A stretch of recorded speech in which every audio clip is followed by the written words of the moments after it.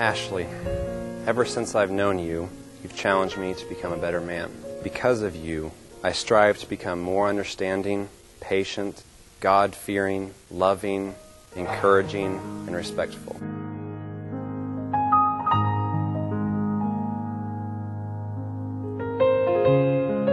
Tom, I've been waiting for this day my entire life, and I'm so blessed to be meeting you.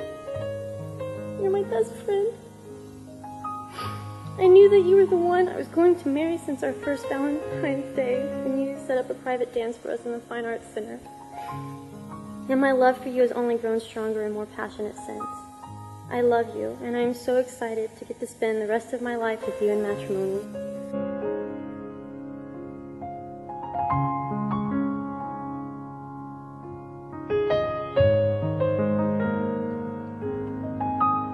Ashley, I give you this ring Tom, I give you this ring, in the name of the Father and of the Son, and of the Holy Spirit.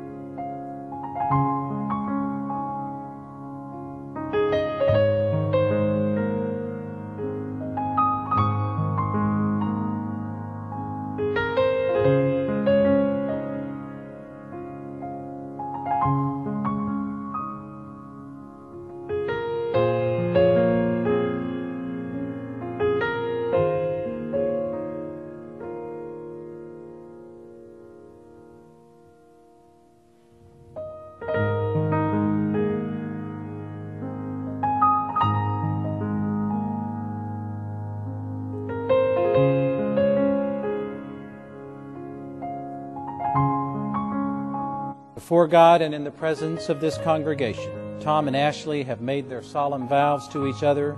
They have confirmed their promises by the joining of hands, by the giving and receiving of rings. Therefore, I pronounce that they are now husband and wife.